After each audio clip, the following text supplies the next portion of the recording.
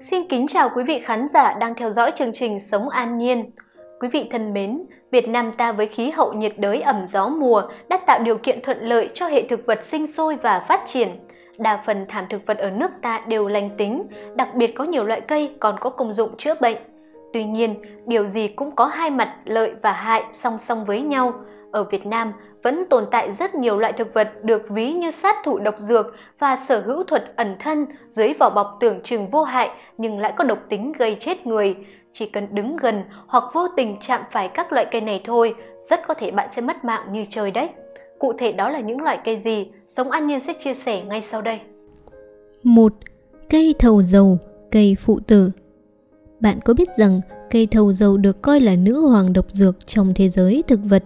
Cả thân cây đều chứa nhiều chất độc, trong đó có chất độc cực mạnh tên là aconitin. Chỉ cần chạm phải cây này, bạn có thể bị nóng miệng, chảy nước dãi, nôn mửa, tiêu chảy. Sau đó khi độc lan ra toàn thân, nạn nhân sẽ phải trải qua cảm giác tê, ngứa gian, nhịp tim bất thường và cuối cùng là tử vong do suy hô hấp. 2. Cây xui độc tố khủng khiếp nhất ở Việt Nam Cây xui hay còn gọi là cây thuốc bắn là loài cây độc tố khủng khiếp nhất ở Việt Nam. Khi nhựa cây ngấm vào người thì bất kỳ loại động vật nào cũng gặp tử thần nhanh nhất. Nhựa dính vào mắt sẽ gây mù lòa. Nhựa của loài cây xui thường dùng để tẩm vào mũi tên săn thú rừng. Khi mũi tên trúng đích, có thể giết chết cả một người hay một con bò rừng với các triệu chứng như cơ tim, nhịp tim đập chậm dần và ngừng tim, người nhão, mềm, mắt nhắm nghiền và mặt xanh tái. 3. Lá ngón có thể gây chết ngay tức thì. Có một điều đáng sợ mà có lẽ bạn đã biết, lá ngón vốn được mệnh danh là thần chết được báo trước. Đó là loài cây có hoa chùm màu vàng rực rỡ rất đẹp và hấp dẫn. Tuy nhiên, có thể gây chết người nếu ai đó vô tình bẻ hoặc bẻ lá, bẻ cành.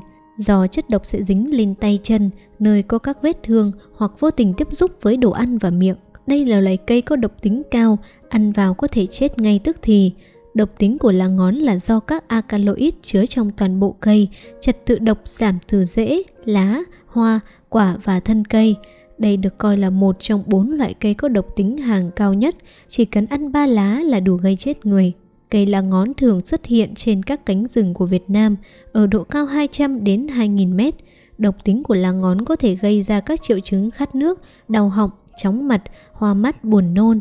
Sau đó nạn nhân mỏi cơ, thân nhiệt hạ, huyết áp hạ, răng cắn chặt, sùi bọt mép, đau bụng dữ dội, tim đập yếu, khó thở, đồng tử giãn và chết rất nhanh do ngừng hô hấp. 4. Cây trúc đào Có loại cây chỉ cần đứng cạnh cũng có thể khiến bạn mất mạng như chơi. Đó là cây trúc đào, tên khoa học là Nerium orlinder. Trong tiếng Italia, orlinder có nghĩa là kẻ giết người. Đây cũng là loại cây được coi là một trong những cây độc nhất thế giới. Toàn bộ các bộ phận của cây trúc đào đều chứa chất độc khác nhau, có độc tính cực cao.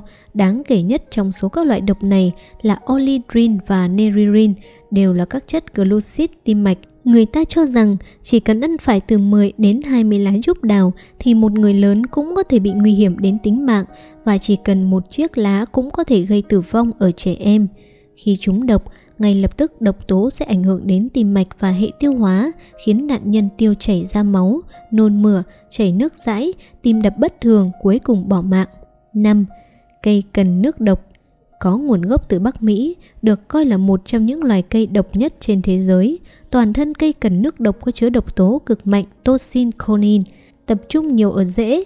Người ta ước tính chỉ cần khoảng 0,15 gram toxin là đủ để giết chết một người lớn. Độc tố của cần nước độc sẽ khiến nạn nhân chết dần từ ngoài vào trong. Lúc đầu họ sẽ bị buồn nôn, tê cứng tứ chi, sau đó nôn mửa, co thắt dạ dày. Cuối cùng khi độc thấm sâu hơn, nạn nhân sẽ bị tê liệt phổi và chết. 6. Cây linh lan Cây linh lan được tìm thấy đầu tiên ở khắp các cánh rừng ở Bắc Âu và Mỹ. Nhiều người bị vẻ đẹp lung linh của loài cây thần chết này đánh lừa. Tất cả các bộ phận của cây linh lan đều chứa chất độc, trong đó mạnh nhất là chất độc covalatoxin.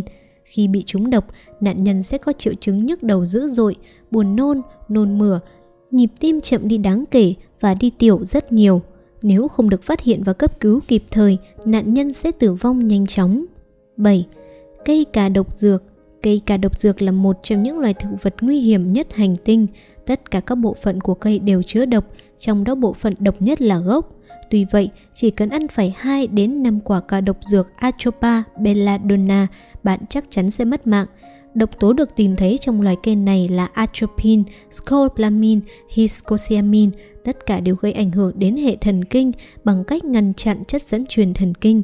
Khi trúng độc, nạn nhân sẽ bị giãn đồng tử, mờ mắt, khô miệng, ảo giác, tim đập rất lớn, co giật, hôn mê và tử vong. 8.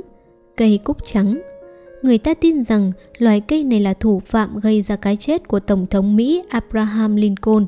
Đây là loài thực vật mọc nhiều ở những khu rừng ở phía đông và nam Mỹ, thân cỏ, lá có răng cưa, hoa màu trắng, chứa một chất độc cực mạnh là trimetol. Chất độc này thậm chí có thể đầu độc gián tiếp một con người thông qua tình trạng ngộ độc sữa. Những người ăn phải thịt và sữa của những con bò đã ăn nhầm phải loại cây này sẽ mắc phải chứng biếng ăn, cơ thể suy yếu, cơ cứng, nôn mửa, bụng trướng, táo bón, hôn mê dẫn tới cái chết. 9. Cây sừng trâu Loài thực vật giết người đáng sợ được kể đến ở đây là cây sừng trâu. Đây là loài hoa rất đẹp, quả có hình như những chiếc sừng trâu và độc tính rất mạnh. Ngộ độc cây sừng trâu khiến người buồn chồn vật vã, nôn kéo dài gây hội chứng mất nước và rối loạn điện giải, hoa mắt chóng mặt, nhức đầu, ù tai khó thở, mắt mờ dần và rối loạn nhịp tim. Lúc nhanh lúc chậm, triệu chứng rầm rộ, nếu không cấp cứu kịp thời có thể dẫn tới tử vong trong 48 giờ. 10. Cây bồng bồng Cây bồng bồng là loài thực vật có hoa to, đẹp và mọc rất nhiều ở ven đường, ở khắp nơi thuộc các tỉnh miền Trung. Nhựa mù của cây có thể gây độc mạnh như nhức đầu, chóng mặt, buồn nôn. Nếu liều cao có thể gây ra các triệu chứng gây sốt, nổi ban khắp người và sức yếu sẽ gây ép tim, ngủ lịm, khó thở. Tuy có độc tính cao, nhưng đây cũng là một cây thuốc có thể dùng để chữa kết lị nhẹ, đắp trị viêm khớp, đắp lên các gầy mụn, các vết loét, lậu, răng mai trộn với mật ong để dùng đắp lên các mụn lết trong miệng. Quý vị thân mến, bên cạnh những loại cây chứa độc dược rất có hại cho sức khỏe thì cũng có những loại cây cảnh giúp tăng tính thẩm mỹ cho ngôi nhà của bạn, đóng vai trò thanh lọc không khí, đồng thời có công dụng chữa bệnh rất hiệu quả. Những loại cây cảnh trên cũng là cây thuốc nam có tác dụng thần kỳ, mang lại nhiều điều kỳ diệu cho sức khỏe của bạn. Hãy cùng Sống An Nhiên tìm hiểu xem đó là các loại cây tuyệt vời nào nhé. 1. Cây hoa oải hương có lẽ bạn đã không còn xa lạ với cây hoa oải hương. Oải hương hay còn gọi là lavender, đó là cái tên vô cùng quen thuộc đối với chúng ta. Chúng thường được trồng để làm cảnh, trồng trong chậu, ven nhà, thành những khóm nhỏ, bởi mùi hương của nó vô cùng dễ chịu, màu sắc tươi mát. Ngoài ra, còn có tác dụng quen thuộc đối với sức khỏe như làm sáng da, làm dịu làn da, giúp làn da được khỏe mạnh, Oải hương còn có thể kháng khuẩn và virus, giúp giảm căng thẳng, lo âu, mất ngủ, giúp ngăn ngừa gầu, tái tạo da đầu, đồng thời có tác dụng điều trị các chứng ngứa, sưng tấy da, trầm cảm, đau đầu, bỏng do nắng. 2. Cây xạ hương Cây xạ hương là loài cây rất thân thiện với con người. Nhiều người biết đến cây xạ hương như một loài cây thơm có hoa, lá và tinh dầu rất tốt cho sức khỏe với tác dụng của nó chống nấm, ngăn ngừa sự xâm nhiễm của vi khuẩn, virus và các loài vật ký sinh mà loài cây với cái tên Mỹ miều này còn giúp cân bằng huyết áp, làm dịu hệ thần kinh, giảm căng thẳng và là giải pháp tuyệt vời cho các vấn đề như tấy đỏ, sưng, khô da, cảm lạnh, ho hay thậm chí là ung thư ruột kết. 3. Cây dương sỉ Chúng ta đều biết cây dương sỉ được nhiều người trồng trong nhà như một loại cây xanh, cành cây tô điểm đẹp cho ngôi nhà của bạn – hơn nữa, cây dương sỉ được nhiều người lầm tưởng chỉ là một loài cỏ mọc dại, thực ra lại là một loại cây có nhiều tác dụng trong cuộc sống. Dương sỉ được dùng để trang trí, dùng trong nghệ thuật cắm hoa và còn là nguyên liệu trong một số món ăn. Không những thế, rễ và thân cây dương sỉ còn được y học đánh giá cao về giá trị dược chất, giúp điều trị một số thể bệnh như sốt, ho, vết thương trên da, vết cháy nắng, bệnh hèn xuyến, viêm phế quản, viêm phổi, đồng thời nó còn có khả năng giúp cân bằng hệ tiêu hóa và phòng chống sâu hại hiệu quả. 4. Cây đinh lăng Cây đinh lăng là lấy cây cảnh khóa quen thuộc với nhiều gia đình. Cây đinh lăng không chỉ sử dụng làm rau sống mà còn là một vị thuốc có tác dụng bồi bổ sức khỏe, chữa được nhiều chứng bệnh mà bạn không thể ngờ tới. Tất cả các bộ phận của cây đinh lăng đều có thể chế biến thành thuốc, từ thân cây, cành lá cho đến toàn bộ rễ và vỏ cây đã được trồng 3 năm Trong cuộc sống thường ngày, lá cây được sử dụng như rau sống hoặc có thể ăn kèm trong món gỏi cá. Theo y học cổ truyền, rễ cây có vị ngọt, hơi đắng, tính mát, có tác dụng thông huyết mạch, bồi bổ khí huyết. Lá đình lăng có vị đắng, tính mát, có tác dụng giải độc thức ăn, chống dị ứng, chữa ho ra máu và kết lị. 5. Cây xô thơm Trong nhiều nền văn hóa cổ xưa, cây xô thơm được xem như một loại thảo dược có tác dụng thanh lọc cơ thể và kéo dài tuổi thọ.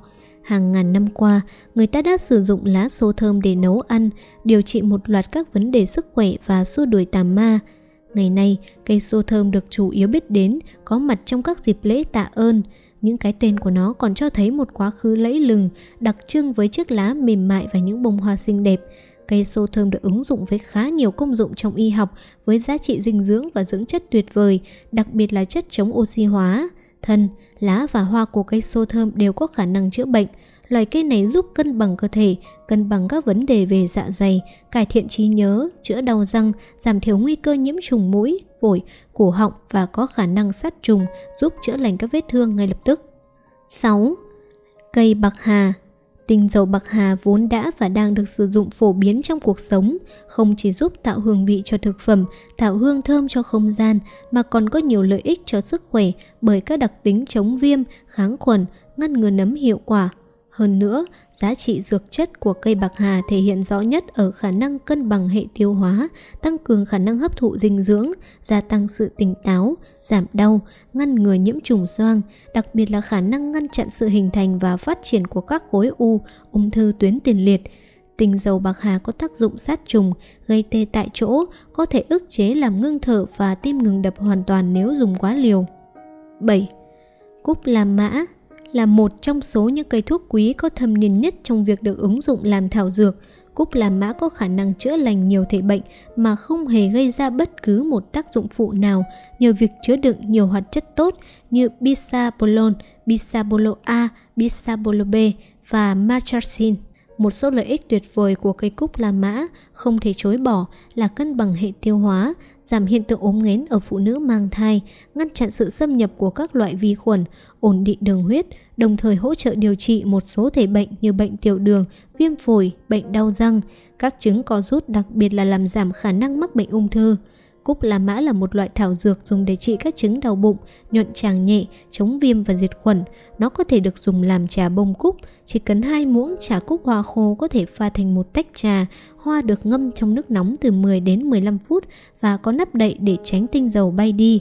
Đối với chứng đau bụng, với một số lời khuyên uống một tách trà vào mỗi sáng mà không cần ăn sáng trong vòng 2 đến 3 tháng. 8. Cây trà bạn có biết cây trà là một trong các loại thảo dược thường được dùng dưới dạng tinh dầu chiết xuất từ lá.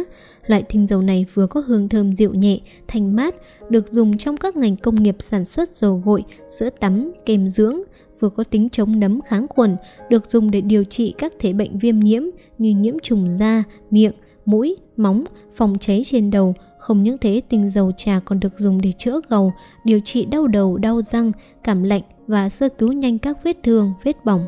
9. Hoa đào Đào là loại cây cảnh được nhân dân ta rất ưa chuộng trong ngày Tết. Ngoài quả đào dùng để ăn, nhân hạt, lá và hoa, nhựa cây đều là những vị thuốc, trong đó nhân hạt được dùng phổ biến hơn. Đào có tác dụng ức chế đông máu, chống ứ huyết, chống dị ứng và chống viêm, là thuốc chữa ho, bế kinh, đau bụng kinh, đau bụng dưới, bí đại tiện, điều trị phụ nữ rối loạn nội tiết tố trong thời kỳ mãn kinh đạt kết quả tốt. Nước sắc lá đào thường dùng ngoài, tắm trước gầy lở, ngứa, ngâm viêm kẽ chân. Tuy nhiên, trong lá đào có chứa axit hydrocyanic độc, lưu ý dùng vừa đủ. 10. Hoa ngọc lan Việt Nam có khoảng 20 loài thuộc chi ngọc lan, trong số đó có khoảng 5 loài được trồng phổ biến ở khắp cả nước vì hoa thơm. Hai loài thường được trồng nhiều ở đền thờ, chùa chiền, lăng tầm, cung điện là ngọc lan trắng và ngọc lan vàng. Trong nền y học truyền thống châu Á, nước ép hay nước sắc của ngọc lan được dùng để chữa trị rối loạn tiêu hóa, nôn mửa, sốt. hòa ngâm trong dầu, dùng ngoài da trị nhức đầu, đau mắt, viêm mũi, xoang, thấp, gút, chóng mặt, viêm nhiễm và sốt. Lá dùng chữa trị các vết sưng tấy, rễ ngọc lan trắng có tác dụng thông kinh, vỏ rễ dùng hạ nhiệt, hoa chấn kinh. Quý vị thân mến, trồng cây trong nhà là rất tốt, về khoa học mà nói, cây hấp thụ carbonic và nhả ra oxy giúp tăng cường trao đổi và lưu thông các nguồn khí ứ động trong môi trường sống của bạn. Về tâm linh, trồng cây hợp phong thủy sẽ giúp bạn thuận lợi hơn trong cuộc sống, tài vận được nâng cao và xua tan tà khí. Hy vọng những điều mà Sống An Nhiên vừa chia sẻ trên đây sẽ giúp quý vị có thêm nhiều kiến thức bổ ích và quyết định thật đúng đắn hơn trước khi muốn trồng một loại cây nào đó trong nhà của mình. Cảm ơn quý vị đã theo dõi video ngày hôm nay. Hãy bấm thích và đăng ký kênh để ủng hộ chúng tôi. Xin chào và hẹn gặp lại trong các video tiếp theo.